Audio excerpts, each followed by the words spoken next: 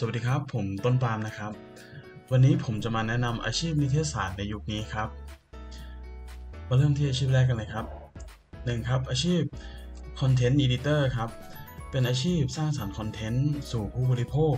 โดยผ่านช่องทางออนไลน์ อย่างเช่น TikTok Facebook YouTube Twitter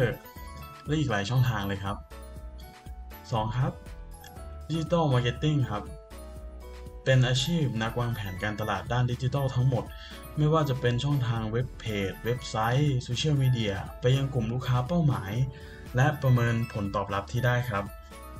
3. นะครับยูทูบเบอร์ครับเป็นอาชีพสร้างคอนเทนต์ให้ออกมาเป็นวิดีโอ ที่ทุกคนรู้จักกันดีอยู่แล้วครับ เป็นอาชีพที่สามารถสร้างรายได้ได้อย่างมหาศาลเลยครับ 4. ครับeditor อย่างที่รู้ๆกันโดยทั่วไปว่า editor คืออาชีพตัดต่อนั่นเองครับ ไม่ว่าจะเป็นคลิปวิดีโอสั้นๆ คลิปวิดีโอที่ยาว หรือไปจนถึงภาพยนตร์นั่นเองครับผม 5. ครับ ช่างภาพครับ ก็ตรงตามชื่อเลยครับช่างภาพ ไม่ว่าจะเป็นการถ่ายภาพ ถ่ายแบบ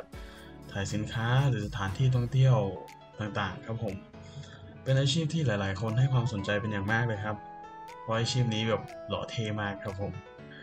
และนี่คืออาชีพทั้งหมดที่ผมมาแนะนำในวันนี้ครับ ขอบคุณที่รับชมครับ แล้วเจอกันใหม่ครับ